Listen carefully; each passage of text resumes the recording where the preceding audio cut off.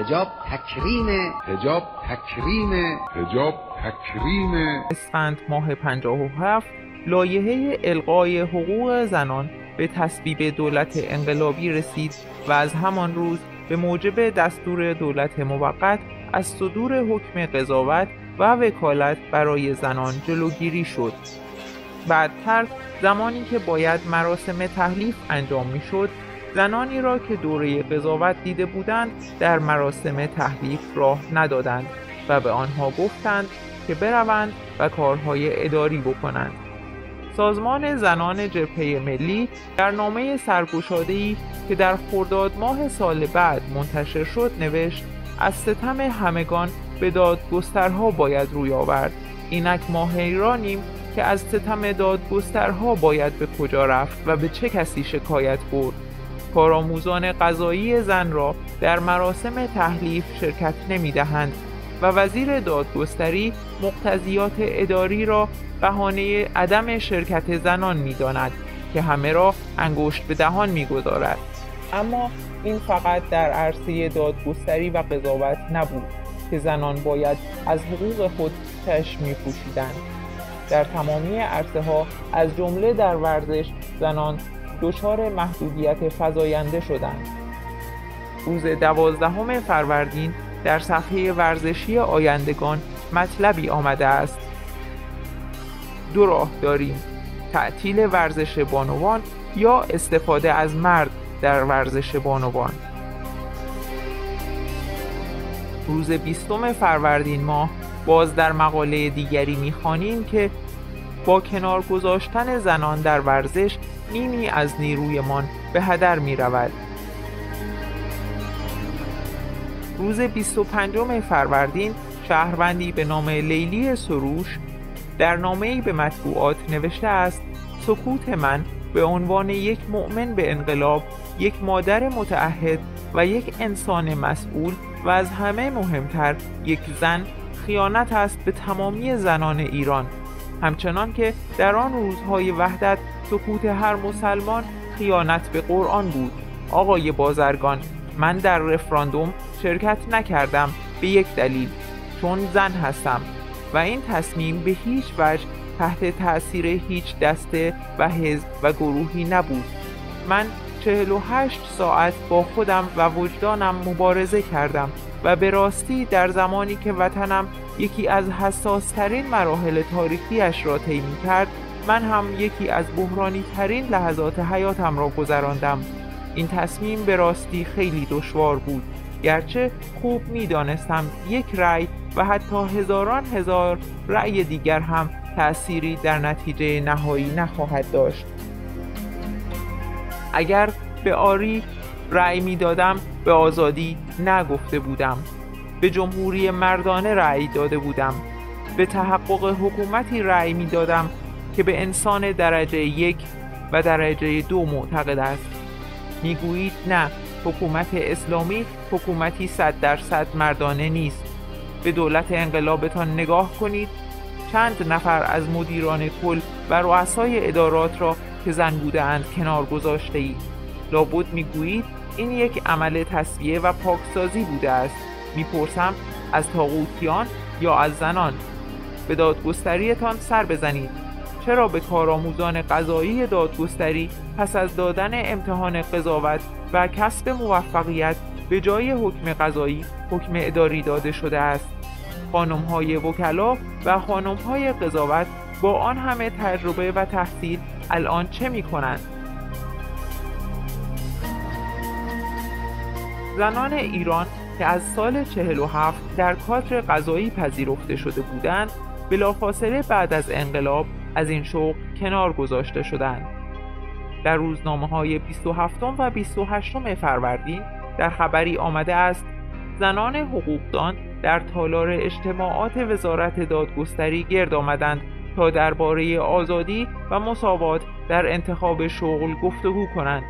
در این جلسه مسئله تبعیض علیه زنان در حرفه قضاوت مطرح شد.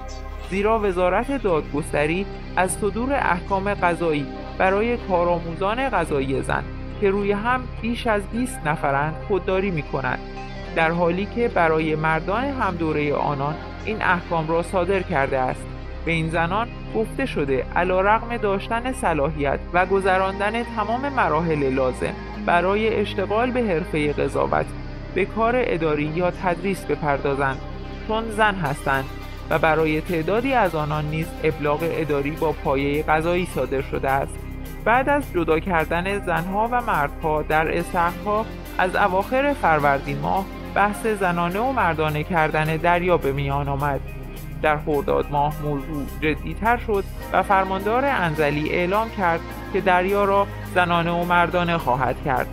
بیش از هزاران تن از پلاژداران گیلان دست به تظاهرات و راهپیمایی زدند که این تصمیم کار و کسب آنها را تعطیل خواهد کرد.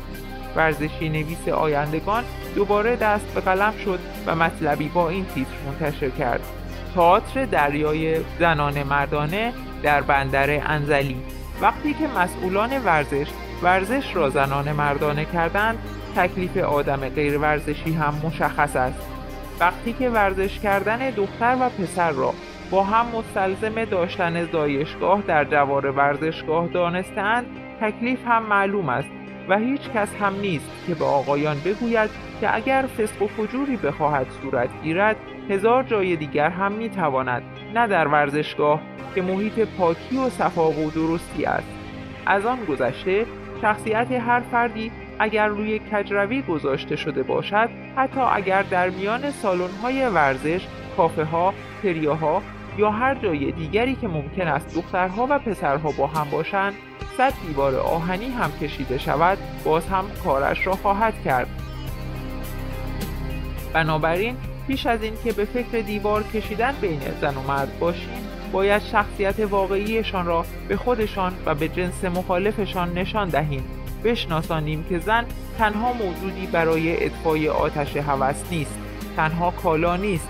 زن نیمی از موجودیت جامعه ماست. نیمی از نیروی فعاله مملکت ماست. اما خمینی در اجرای ایده هایش اصرار نشان داد. روز یازدهم و دوازدهم تیر ماه خبری در روزنامه ها چاپ شد که به سخنان خمینی مربوط است. در این خبر آمده است امام با اشاره به زواهر تمدن غرب گفت اینها از اسم جمهوری اسلامی می ترسند حق هم دارند بترسند. چرا که اسلام جلوی شهوات را می گیرد اسلام نمی‌گذارد که لخت به دریا بروند و شنا کنند.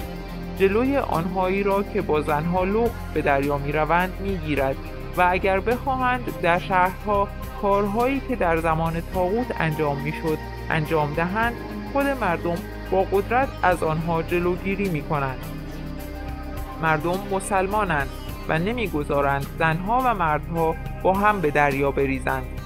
تمدن اینها این بود و اینها از تمدن و آزادی این را می‌خواهند. تمدن غربی می‌خواهد که زن و مرد لخت بشوند و به دریا بروند. این تمدنی است که در رژیم سابق بر مملکت تحمیل می‌شد. با آن وضع می آمدند در میان شهر و مردم هم جرأت نمی کردند حرف بزنند. در روز هفدهم تیر خبری در روزنامه ها آمده که به موجب آن طرح زنان مردانه کردن دریا در شه سوار به اجرا گذاشته شده و بر اساس آن پیش از ظهرها آقایان و بعد از ظهرها خانمها می توانند از آب دریا استفاده کنند. دو سه روز بعد یک خبر از شهرستان ها حکایت از آن دارد که در متلقو گروهی با چوب و چماق و سلاح گرم الله اکبر گویان به زنان و مردانی که با هم به دریا رفته بودند حمله کرده و یک خانم حامله و مردی که شلوارک به پاداش مجروح شدند. مهاجمان از اسلحه گرم استفاده نکردند ولی از زنها می‌خواستند بدنهاشان را بپوشانند. مدیر مترقو قبلا درباره آبتنی جداگانه مسافران زن و مرد با فرماندار مذاکره کرده و خاطر نشان ساخته بود که قادر نیست مسافران را مجبور به رعایت طرح زنان مردانه کردن دریا کند و اگر دولت در اجرای این طرح مصر است بهتر است گروهی پاسدار در متلقو مستقر شوند.